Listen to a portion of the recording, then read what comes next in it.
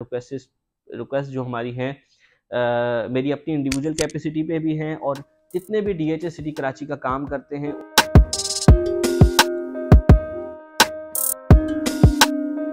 असल व्यूअर्स मैं Sardar Sama sale manager Abu state D H Karachi. Thumbnail तो आपने देख ही लिया होगा, एक रिक्वेस्ट है और एक अच्छी न्यूज़ भी है। पहले अपने तमाम अलॉटीज़ को इन्वेस्टर को खुशखबरी दूँगा। जिस चीज़ का हमें डे फ़र्स्ट से इंतज़ार था, वो चीज़ अलहमदिल्ला डी एच सिटी कराची में हो चुकी है।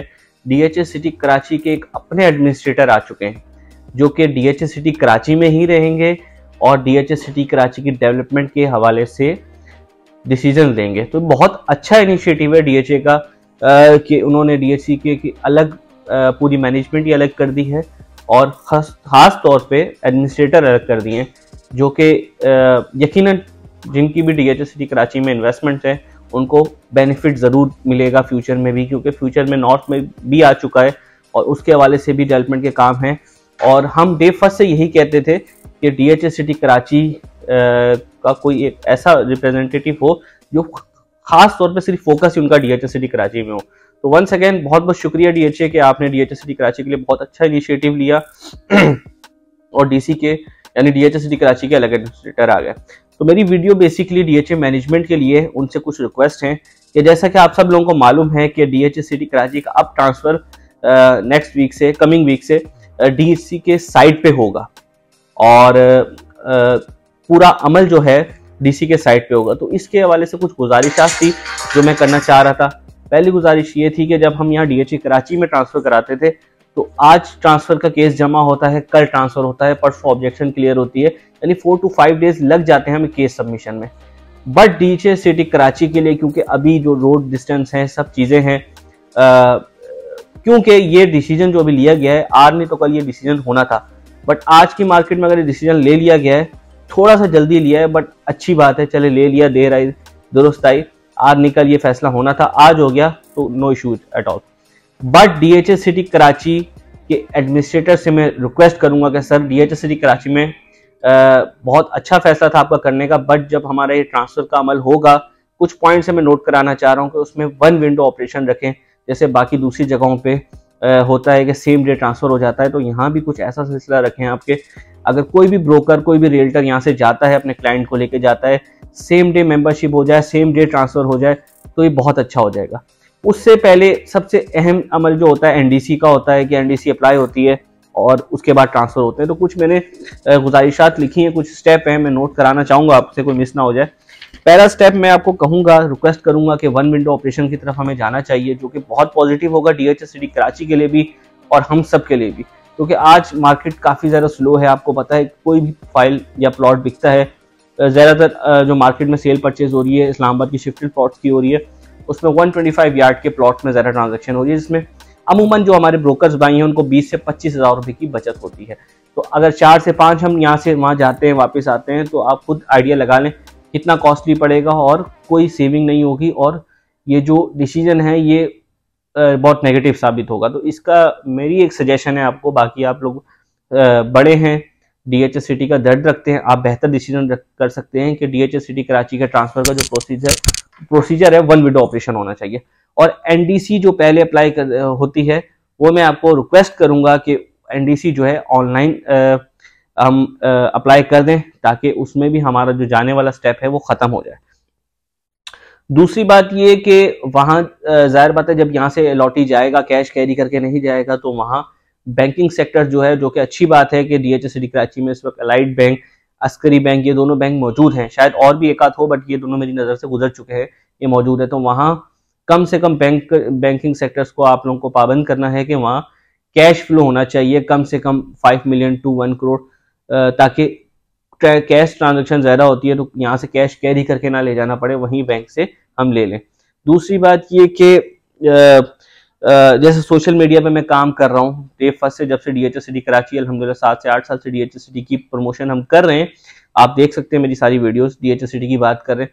तो आपसे रिक्वेस्ट है सर कि डी सिटी कराची की मैनेजमेंट को भी मार्केटिंग के लिए काम करना होगा, क्योंकि जो मार्केटिंग आप कर सकते हैं, उतनी हमारी अप्रोच नहीं है इंडिविजुअली जब डीएचए खुद किसी चीज़ की मार्केट करता है डेफिनेटली उसका बेनिफिट मिलता है। बाकी जैसे दूसरे डीएचएस कर रहे हैं मुल्तान हो गया, कोयटा हो गया तो मेरी रिक्वेस्ट है कि डी सिटी की की मैनेजमेंट को भी इस स्टेप को फौरी तौर पे स्टार्ट करना चाहिए, क्योंकि जो चीज़ दिखती है, वही बिकती है, मेरी अपनी असेसमेंट है। चौथी चीज़ ये कि अभी डी सिटी कराची जाते हैं तो वहाँ टूल टैक्स भी लगता है, बाकी दूसरी सोसाइटी जो है कॉम्पिटिटर हैं जो डी सिटी कराची के, वहाँ पे नहीं लगता तो उसको ख़त्म कराया जाए। और पांचवी चीज़ ये कि वहाँ मार्ट वगैरह बनवाए जाएँ फौरी तौर पे और ये सब चीज़ें ऐसी हैं, और डेवलपमेंट का जो काम है बैक सेक्टर्स में डेवलपमेंट चल रही है, और बुश कटिंग ये छोटी छोटी चीज़ें ऐसी हैं। आप बेहतर समझते हैं, क्योंकि आप सीट पे आ चुके हैं, यकीनन आपने साइट का विज़िट भी किया होगा। बहुत से फ्लॉज हैं इस वक्त। वो फ्लॉज दूर होते हैं तो बहुत अच्छा होगा। क्योंकि जब साइट ऑफ़िस वहाँ चला गया है तो यकीनन लोग भी आएँगे, लोग आएँगे तो अपने प्लॉट्स का विज़िट भी करेंगे, देखेंगे भी।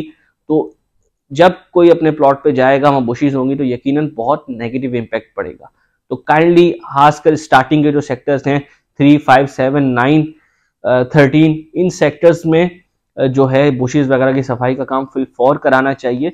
मेरी अपनी एडवाइस है और मार्केट में भी काफ़ी ज़्यादा लोगों की यही एडवाइजेज है जो मैं आपसे शेयर कर रहा हूँ। छठी बात ये कि एक जिस तरह आपने स्टेप लिया सेक्टर 14 में विलास का इस तरह मेरे हिसाब से हर सेक्टर में आ, कुछ ना कुछ होना चाहिए। कहीं मॉस्क स्टार्ट हो जाए कहीं विलास आ जाए बेशक बहुत ज़्यादा क्वांटिटी में ना आए पच्चीस पच्चीस तीस आ जाए। इसमें ये होगा कि जो इन्वेस्टर है जो खुद बनाने की तरफ़ जा रहा है उनको भी थोड़ा आ, वो कहते हैं सपोर्ट मिलेगी तो वो भी दो के साथ चार कंस्ट्रक्शन की तरफ़ आएँगे। क्योंकि फ्यूचर हमारा डीएचएसडी कराची है बाकी अच्छी बात यह मलिर एक्सप्रेसवे का जिस तरह तेज़ी से काम चल रहा है हमें लगता है कि आने वाले दो साल के बाद डीएचएसडी बहुत अच्छी पोजीशन में होगा। मगर ये जो पाँच छह स्टेप मैंने बताया ये आपसे रिक्वेस्ट है कि इन सब चीज़ों को जल्द से जल्द अप्लाई करवा दीजिए। ताकि हम सबके लिए आसानी हो। खास का जो ट्रांसफ़र का प्रोसीजर है, इसको वन विंडो प्लीज़ करवाएँ। अदरवाइज़ अगर वन विंडो नहीं होता तो आप खुद एज अ रियल्टर आप सोचें कि यहाँ से हम वहाँ जाते हैं, एक प्लॉट पे पाँच दिन या चार दिन लगना, उसका मतलब है कि फिर ट्रांजेक्शन ही बंद हो जाएगी। तो प्लीज़ इस चीज़ को आप बहुत सीरियसली लीजिए और एनडीसी के हवाले से सोचिए, क्योंकि DHA city Karachi DHA Karachi का फ्यूचर है। यहाँ के इन्वेस्टर्स का फ्यूचर है, हमारा फ्यूचर है हम सबका फ्यूचर है और उन शौदास का फ्यूचर है जिनकी जिन्होंने डीएचए वैली में दस दस, पंद्रह पंद्रह साल से पहले से प्लॉट लिए हुए यकीन उनकी इन्वेस्टमेंट है ये। ये सब चीज़ें होंगी तो उनकी इन्वेस्टमेंट भी मल्टीप्लाई होंगी। आगे डीएचए नॉर्थ आ रहा है डीएचए सिटी कराची नॉर्थ बहुत सी चीज़ें और आ रही हैं, बहुत सी चीज़ें पाइपलाइंस में इमार के साथ एमओयू हो चुका है। हमारा गोल्फ दुबई की इन्वेस्टर के साथ गोल्फ कोर्स का एम हुआ था उसके हवाले से देख लें कि जल्द से जल्द उस पर काम स्टार्ट हो जाए। ये सब चीज़ें सर, ये सब चीज़ें होंगी तो इनशाला D H S city Karachi Karachi में है। कराची सबसे बड़ा शहर है और D H S city Karachi को फलता फूलता हुआ बाकी सब डी एच ए देखेंगे। तो आपसे वन सेकेंड रिक्वेस्ट है कि इन सब रिक्वेस्ट रिक्वेस्ट जो हमारी हैं मेरी अपनी इंडिविजुअल कैपेसिटी पे भी हैं और जितने भी D H S city Karachi का काम करते हैं, उनकी सबकी यही रिक्वेस्ट है। काइंडली इन पे देखा जाए, इन पे गौर किया जाए। और डी एच सिटी कराची को इनशाला हम सबका यही ख्वाब है कि डी एच सिटी कराची में जल्द आबादी होगी और हम अपने घर भी सबसे पहले वहाँ बनाएँगे। बहुत बहुत शुक्रिया। अल्लाह हाफिज़।